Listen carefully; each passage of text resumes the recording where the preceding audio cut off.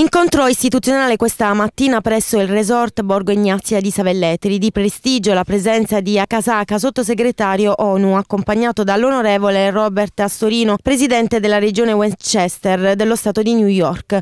Hanno incontrato il sindaco Lello di Bari. I due ospiti sono in Puglia per alcune visite istituzionali, un tour organizzato dalla Puglia Center of America, istituzione che promuove la Puglia negli Stati Uniti. Ora si tratterranno tre giorni qui nella nostra zona, poi ci sarà lunedì sera nel Salone della provincia di Bari la premiazione di un evento organizzato per premiare eccellenze pugliesi e quindi saremo ospiti della, della provincia. Ci dà un'opportunità, grazie alla Puglia Center of America, presieduta dal maestro Monarca, di eh, promuovere il nostro territorio all'estero e eh, abbiamo una delle persone più qualificate a fare questo. La presenza di Sua Eccellenza qui è proprio una, una stretta di mano fra Fasano e le Nazioni Unite proprio in prospettiva di, di poter uh, avere questa maggiore visibilità negli Stati Uniti. I'm very happy to be here in Italy.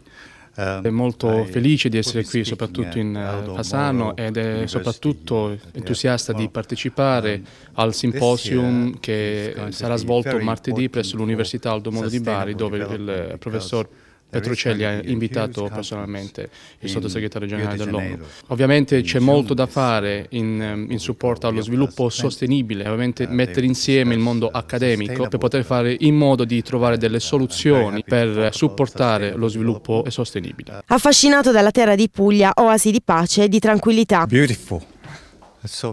È tutto veramente così uh, bello qui, è stato uh, un eh, piacere, una bellissima esperienza venire dall'aeroporto fino qui all'hotel Borgo Ignazia in Fasano e guardare gli alberi d'ulivo, nonché il paesaggio naturale.